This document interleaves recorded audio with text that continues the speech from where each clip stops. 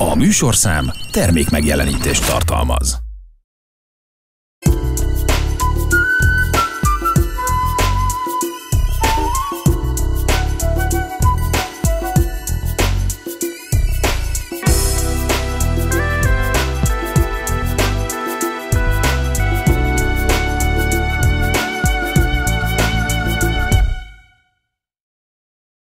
Szép estét kívánok, köszöntöm kulturális magazinunk a Paletta nézőit június 13-án kedden 17 óra 20 perckor.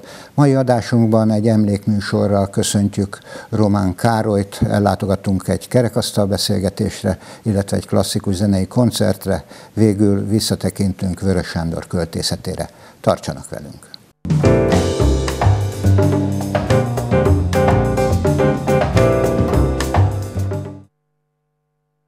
Román Károlyra, a korszakos irodalomtörténészre és pedagógusra emlékeztek a Vörösmarty Társaság dísztermében. A találkozón első ízben adták át a Román Károly díjat, amit Sebők Melinda irodalomtörténész vehetett át. A Vörösmarty Társaság Kossuth utcai termében születésének 90. évfordulóján Román Károly tanárra, irodalomtörténészre, Székesfehérvár díszpolgárára emlékeztek. A köztiszteletben álló irodalmára a társaság alapító tagja és a város kulturális életének meghatározó személyisége, tudós tanára volt. Egy nagyon szép gesztus, de egy illő gesztus is az, hogy a Vörösmarty Társaság megemlékezik Román tanárúról, és vele, mint közösséggel együtt ezt teszi a város egésze is, hiszen emlékezhetünk rá, mint fantasztikus tanár egyéniségre a Vasváriban, de emlékezhetünk rá irodalomtörténészként, emlékezhetünk rá közéleti emberként, emlékezhetünk rá íróként, de leginkább azt gondolom, hogy igazi nagybetűs polgáraként eme városnak, amely büszke volt Székesfehérvára, és ez nem csak egy, egy, egy érzés volt, hanem egy aktivitást is jelentett és magával hozott, hiszen tett ezért a városért tanárként is, és kultúrában tevékenykedő emberként egyaránt. És ezért fontos, hogy rá emlékezzünk, és legalább annyira fontos, hogy emlékeztessünk másokat is, ebben az esetben a város közösségét, és a Vörös Marti Társaságnak ez egy nagyon szép missziója, ezért örültem annak, hogy eh, amikor ez a meghívás megérkezett, akkor ebből is látható volt, hogy gondoskodnak erről a hagyatékról, és gondoskodnak arról, hogy aki emlékezni szeretne, az megteheti itt eh, a Vörös Marti Társaságnál, akár az emléktáblánál, akár egy-egy ilyen irodalmi esten. Bobori Zoltán a Vörös Marti Társaság elnöke köszöntőjében hangsúlyozta, Román Károly jelenléte a katedra mögött városunk szellemi közegében, mindennapjaiban és ünnepein egyaránt megerősítést adtak az irodalom kedvelőknek. A mai emlékesnek az volt a címe, az a címet adtuk, hogy tiszteletünk tanár úr. És tulajdonképpen ebben benne van minden, egy olyan székesfehérvári tanárember, ezt külön hangsúlyozni kell nagy betűkkel, mert ő mindig tanárnak tartotta magát, akire kötelességünk emlékezni. És hát nagyon jó szívet tesszük, mindnyáján azt hiszem itt a társaságon belül, és mi, a mi generációnk tagja még különösen, hiszen az egész életünket végig kísérte a tanár úr jelenléte, az ő tanításai, tanácsai, és hát nyugodtan merem mondani, hogy az ő barátsága. És ezért rendkívül hálás vagyok a sorsnak, és kötelességemnek érzem azt, hogy így is emlékezzünk rá. Nagy-nagy öröm, hogy ezt most tehetjük meg, amikor már az emléktábla itt van a Vörös Marti Társaság épületének a falán, de nem ez az örökérvényű, ez a márvány, fehér márványtábla, hanem az ő emléke és az ő tanításai. P. Maklári Éva a társaság alelnöke visszaemlékezésében elmondta, számára is örökérvényű, meghatározó élmény volt a közös munka a csupa nagybetűs tanárúrral, hiszen ő volt az, aki barátjával Sobor Antallal kivételes érzékenységgel adott hitet az irodalom mindenkori mélységei megismerésének fontosságáért. Ha élne Román Károly, most lenne 90 éves. Tehát ezt az emléknapot neki szenteljük. A tanárnak, a kultúrkirálynak, aki a diák színjátszást országos rangra emelte, akit mindenki szeretett, és akinek nem csak az volt a célja, hogy ő szerette az irodalmat és a kultúrát, hanem ezt a szeretetet mindenkinek át akarta adni. És ez olyan jó érzés volt annak, aki találkozott, aki beszélt vele, mert megismert egy olyan világot esetleg, ami addig nem túl sokat jelentett a számára. Sebők Melinda előadásában visszatekintett Román Károly életművére, aki tanárként és irodalomtörténészként is maradandót alkotva empátiával és bölcsességgel viszonyult minden generációhoz, aki hitt a kulturális, az irodalmi élet varázslatában. Román Károly ahhoz az 1930-as években született tudós tanár, nemzedékhez tartozott, mint például Sobor Antal, Pomogács Béla vagy Kalász Márton, egyfajta minőségeszményt képviselt az ő irodalomtudósi pályája, szüntelenül olvasott, dolgozott, Mondhatjuk azt is, hogy Román Károly az irodalom vérkeringésében élt és alkotott, mert az irodalom egyfajta életforma, létélmény, magatartásforma volt számára, az irodalmat egy olyan kimeríthetetlen kincses bányának, vagy azt is mondhatnám, hogy múlhatatlan misztériumnak tekintette, amiben állandóan talált valami újszerű felfedezni valót számára. A találkozón első ízben adták át a Vörös Marti Társaság most alapított Román Károly díját, amelyet első ízben a Székesfehérvári életőségű Sebők Melinda, a Károli Gáspár Református Egyetem egyetemi docense, a Magyar Irodalom Történeti Társaság főtitkára vehetett át.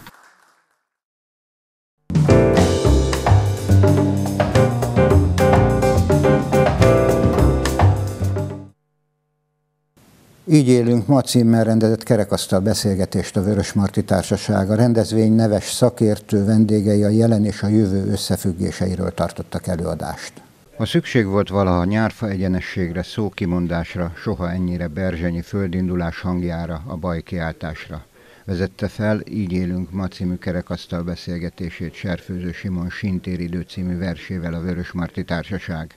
A találkozó meghívott vendégeit Lerner Zsolt alpolgármester köszöntötte. Hogy élünk ma szigorúan felkiáltó jellel a mondat végén, egyrészt egy, egy nagy kérdéshalmaz is, és ugye az élet minden területéről, a tudományágok minden területéről érkeznek ide beszélgető partnerek, és ezért is érdekes, hogy például a kultúra területén, mivel a Vörösmarty Társaság szervezés rendezi a, a mai rendezvényt, a bennünk megfogalmazott kérdésekre választ kaphatunk. Meg úgy általában egy, egy látképet az ő szemszögükből ö, nyithatnak, ami ugye egy, egy vita is lehet egy jól értelmezett vitaforrás.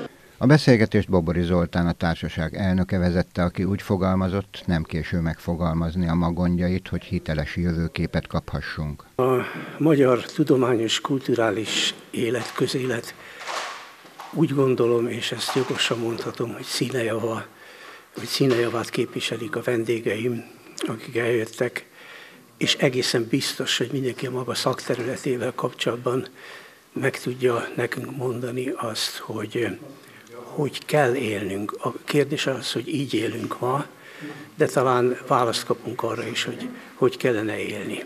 Nagyon örülök, hogy valóban ilyen nagyszerű tudós vendégeim vannak, és nagyon bízom benne, hogy mindenki számára élmény lesz ez a mai beszélgetés. Suprit Sándor pszichológus, az Óbudai Egyetem docense kiemelte, hogy a korvitáira kell hiteles választ adnunk. Azt gondolom, hogy nekem talán a látásmódomból adódóan inkább arra kell válaszolnom, hogy a mai életnek mik a mozgatórugói az emberi oldalról.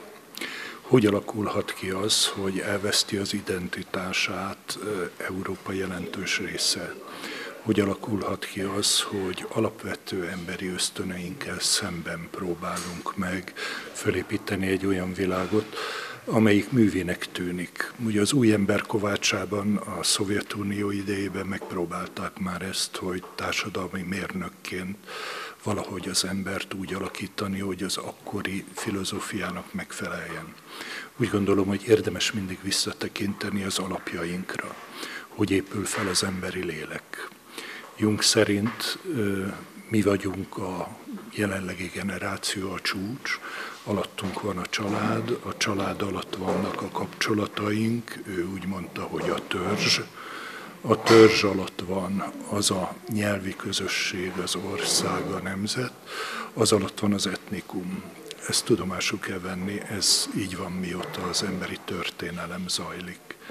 Nos, ebből az alapból szeretném megvilágítani, hogy mi a különbség a liberális és a konzervatív filozófia között. Nem azért, mert az egyik ördög, a másik angyal, hanem hogy ez magyarázatot ad korunk vitáira. Bíró Balázs vallásfilozófus a tudathatalmát hangsúlyozta, amely segíthet a válság megértésében. Az, hogy mi hogy élünk, ezt jobban, mint vallásfilozófus, inkább úgy képzelem el, hogy többet kellene önmagunkkal foglalkozni.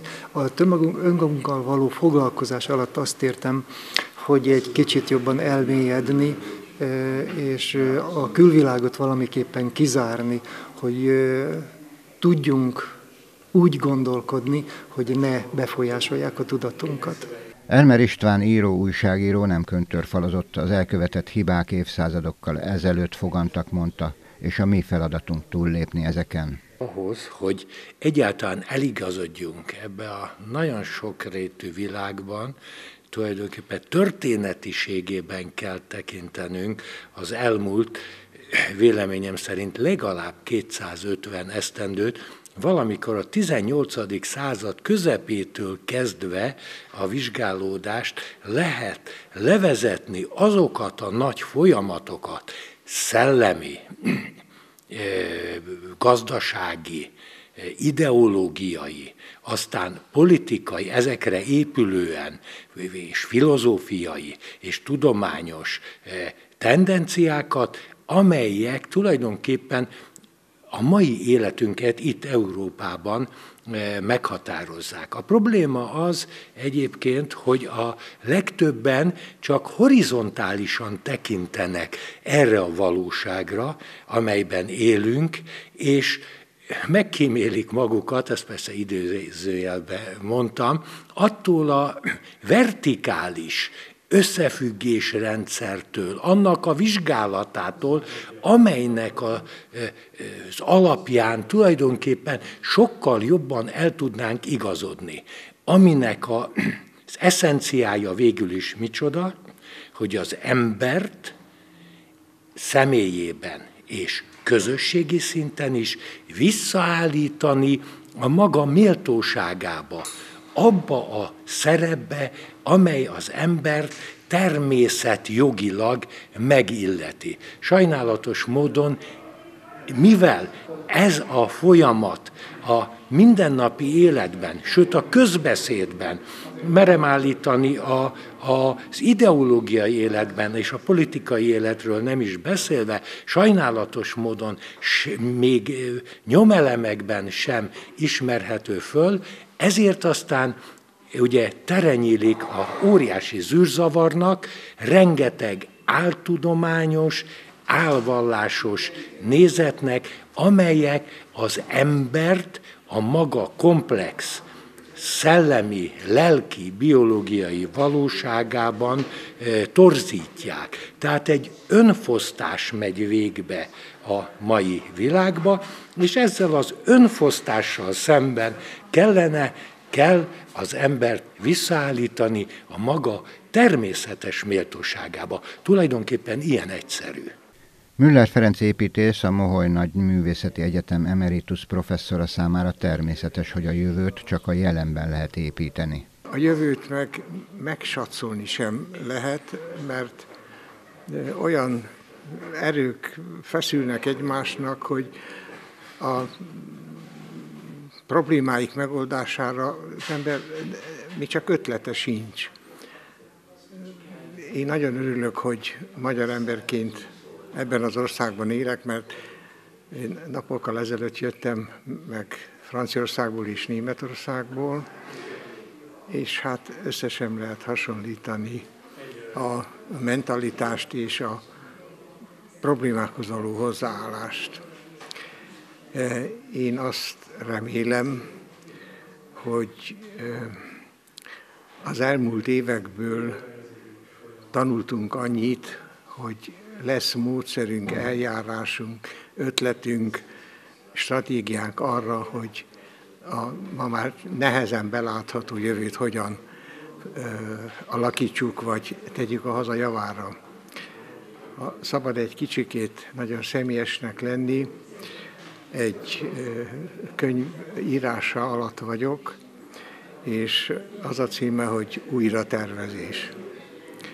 Na most nekem az újratervezéssel amúgy is van egyfajta föntartásom, mert mi a garancia arra, hogyha egy rendszer nekem újra tervez egy helyet, egy célt, hogy az most valóban a legjobb, és honnan tudom azt, hogy miből gondolták, hogy nekem arra felé kell menni. Én már az alapképzés, képzettségem építészmérnök, én alkalmazott matematikával foglalkozom évtizedek óta, és a hálózatelmélet az a része most az érdeklődésem központja, amelyikből esetleg következtetni lehet arra, hogy mi az az irány, ami ebből a helyzetből bekövetkezhet. Mik azok a tényezők, amik miatt ma ott tartunk, ahol vagyunk. Tolsvai Béla Kossuth Díjas zenész a hiteles énekmondó számára nem kétséges, hogy csak értékteremtő tettekkel és gondolatokkal lehet túllépni a válságon. Úgy érzem, hogy ez a világ ez nagyon kemény, nagyon kemény, valahogy fele tetején áll minden, és úgy érzem, hogy rendet kell rakni. Én nem, nem tudom, hogy, hogy mi a megoldás, csak ö, azt a fényt próbálom megláttatni, amit nagyon-nagyon sokan tettek sok-sok éven keresztül a magyar kultúrában. És én hiszek abban, hogy azért nem csak a szemét fog uralkodni a magyar kultúrában, hanem igenis az érték. Az irodalom, a gazdaság, a közélet és a tudomány fajsúlyos vendégei a 21. század felgyorsult világának összefüggéseit tárták fel, és olyan elemző gondolatsorokat tártak a közönség elé, amely mindenképpen megoldásra vár.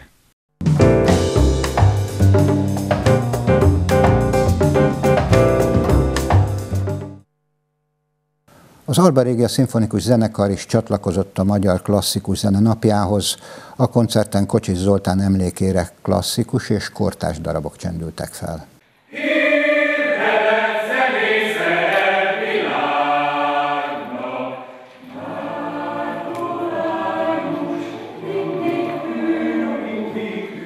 Kocsis Zoltán zongoraművész születésnapja május 30-a 2021 óta a Magyar Klasszikus Zene napja. A 2023-as programsorozathoz az Alba Régia Szimfonikus Zenekar Ballada című hangversenye sokszínű, izgalmas zenetörténeti párhuzamokat kínáló műsorra csatlakozott. 2021-ben indult ez a kezdeményezés. A, apropóját egy nagyon szomorú esemény adta meg, Kocsi Zoltán halála. Kocsi Zoltán május 30-án született, és egy gyönyörű gesztussal a születésnapján minden évben egy hangversenyt adott a Nemzetközi Gyermekmentő Szolgálat javára. Természetesen ez a, ez a szép programsorozat, ami a magyar zene életnek egy igazi ünnepe volt, ez a, az ő halálával megszűnt, de a Zeneakadémia, illetve a Nemzeti Filharmonikus Zenekar úgy döntött, hogy valamilyen módon próbálja folytatni a folytathatatlan hagyományt, és ekkor hirdették meg 2021-ben a Magyar Klasszikus Zene napját, amelyhez természetesen Magyar Szimfonikus Zenekarok, többek között így a mi zenekarunk is örömmel csatlakozott. Ennek a napnak Magyar Klasszikus Zene napja, a címében is ott van a, a célkitűzése, nevezetesen, hogy a régmúlt és a jelen magyar zeneszerzőknek adjon egyfajta bemutatkozási lehetőséget.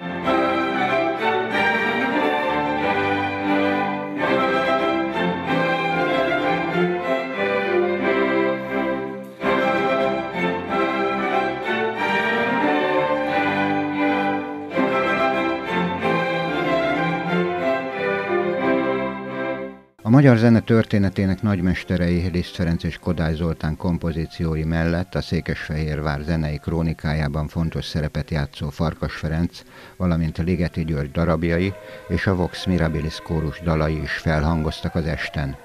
A hangverseny dirigense az Alba Régia Szimfonikus Zenekar művészeti vezetője Dobszai Péter junior prima díjas karmester volt. A Magyar Klasszikus Zene napján Kocsis Zoltán emlékére mi az Alba Régia Szimfonikus Zenekarral olyan magyar műveknek a csokrát állítottuk össze a mai napra, amelynek a legrégebbi pontja Liszt Ferenchez kötődik, a legfrissebb pontja pedig konkrétan a mai naphoz, egy ős bemutatóval is, Dobri Dániel új darabjával készültünk. Ugyanakkor a múltba tekintve Liszt Ferenc, Ligeti és Farkas Ferencnek a műveinek az esetében is még korábbi témákat. Farkas Ferenc esetében például 17. századi magyar táncoknak a témáit dolgozzuk föl. Így azt mondhatom, hogy lényegében a teljes magyar zenetörténet valamilyen formában, vagy friss műként, vagy, vagy idézetként, de meg fog jelenni ma este.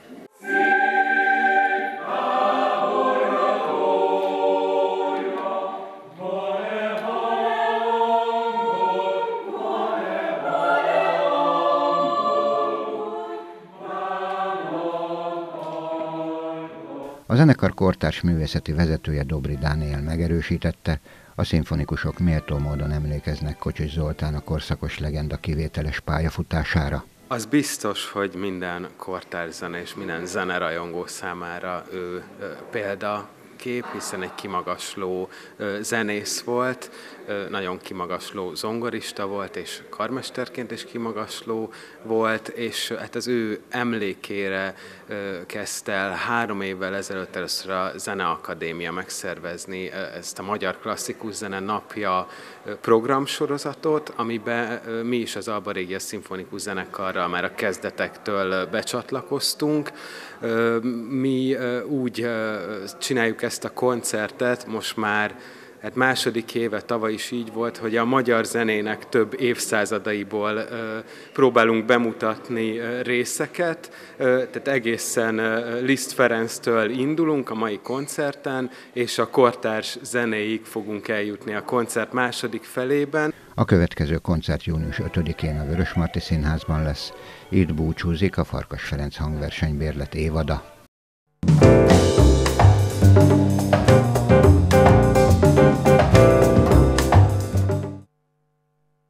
Folytatódott az Értékmentők irodalmi program sorozata, a találkozó keretében ezúttal Vörös Sándor költészetéhez kerülhettek közelebb az irodalom barátai. A Szent István Király Múzeum dísztermében folytatódott az I-generációért egyesület az Értékmentők programsorozata. Az irodalmi találkozón ezúttal Hanvas Béle után Vörös Sándor nagyívű munkásságára tekintettek vissza. Weiner Senyei Tibor író és Zoltán Áron színművész előadásában. Hanvas 125 az egy nagyon izgalmas projekt volt, és Hanvashoz nagyon-nagyon szorosan kapcsolódik Vörös. És hát ugye a programsorozat, mint ahogy a Hanvasnál is így volt, hogy témákat igyekszünk fel dolgozni, hiszen nagyon fontos, és ezt mindenhol én igyekszem elmondani, hogy Vörös Sándor nem csak a gyermekversek írója volt, hanem nagyon-nagyon-nagyon sokkal több minden ennél. És hát mi mással kezdhetnénk, nagy szerencsénkre Zoltán Áron színművész is csatlakozott ma Weiner Senyei Tiborhoz, mi más lehetne, mint a teljesség felé. Én nekem ilyen kellemes libavőröm is van, mert azt gondolom, hogy ez egy annyira fantasztikus mű, amivel egy alkalmat külön biztosan kell foglalkoznunk, és hát ez a második alkalom azt gondolom, hogy a legtökéletesebb arra, hogy a múltkori picit képbe hoztuk magunkat Vörös Sándorból, a második alkalommal viszont belemegyünk egy nagyon-nagyon fantasztikus műbe, ami a teljesség felé, úgyhogy azt gondolom, hogy aki nem, volt ma itt, az sajnálhatja, és hát természetesen megyünk tovább. Valószínűleg, hogy a könyvtárban folytatjuk, hiszen itt megindul egy kiállítás építése, a Szent István Király Múzeumban egyébként mindig szívesen jövünk, de sajnos most itt ez véget ér, és a Vörös program viszont megy tovább, és reményeink szerint a könyvtárban készülhetünk majd a jövő hónapban, esetleg már valami izgalmas újabb témával, témakörrel. Fejnesenyei Tibor legújabb eszékötetek közvetlen folytatása a Hambas Béla ezer arcú és egyszerű élete és műve című legutóbbi könyvének, de ez a kötet Vörös Sándor költészetét és életét helyezi a vizsgálódás tárgyának középpontjába, különös tekintettel a 2017-ben kiadott elhagyott versek és más kevésbé ismert művek és életrajzi események tükrében. Ma este elsősorban a teljesség feléről fogunk beszélni. Zoltán Áronnal, aki alkotótársam volt tulajdonképpen a Vörös Sándorról szóló eszékötetemben. A Covid időszaka alatt nyáron tartottunk a Dunakanyarba ilyen szabadtéri előadásokat, Vörös Sándorról, ebből, ebből született ez az eszékötetem, és ma este kimondottan arra a könyvre fogunk koncentrálni, a teljesség felére, amit Hanvas Bélának, mesterének dedikált Vörös Sándor. Vacsorázunk. Pár szó és csönd lesz. És az a csönd úgy kiabál, mintha az étel sótlan volna, mikor púpozva van a tál. Rám néz anyám, Rám néz apám is. Nem az van itt már, aki volt, és fenn az égen úgy, mint régen, rostokol a nagy bajszú hold. Zoltán Áron színművész számára a vers kapu a költészethez. Vörös Sándor pedig az a költő, akihez a legkorábbi versemlékei kapcsolódnak, és mint kifejtette, az ő versei a legfelsőbb szintű, legősibb közös ponthoz kapcsolódnak, ahhoz, hogy emberek vagyunk. Nekem személyesen nagyon nagy kedvencem Vörös Sándor, és mindig meglep, amikor sokan csak a gyerekverseit ismerik, és mondják, hogy hát igen, a bóbita. E, igen, a bóbita, de azért ott mögötte egy elképesztő, kiterjedt életmű húzódik meg, és nagyon szeretem ezt, ezt megvilágítani. És Tibivel már ezt régóta csináljuk, tulajdonképpen 2020 óta rendszeresen tartunk előadásokat Vörös Sándorról. Ebből született az eszékötete is ezekből az előadásokból. A találkozón ismét bizonságot nyert, hogy a kulturális programsorozat szélesebb közönség számára is izgalmasan és élvezetesen hívja fel a figyelmet a közelmúlt nagy irodalmi alakjaira, Vörös Sándorra és Hambas Bélára.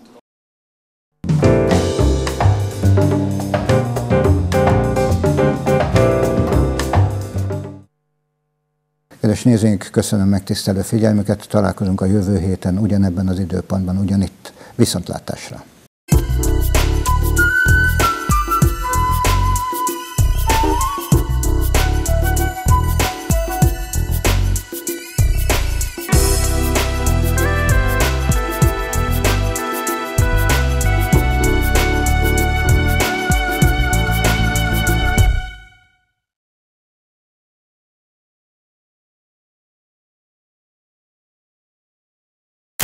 Műsorszám termék megjelenítést tartalmazott.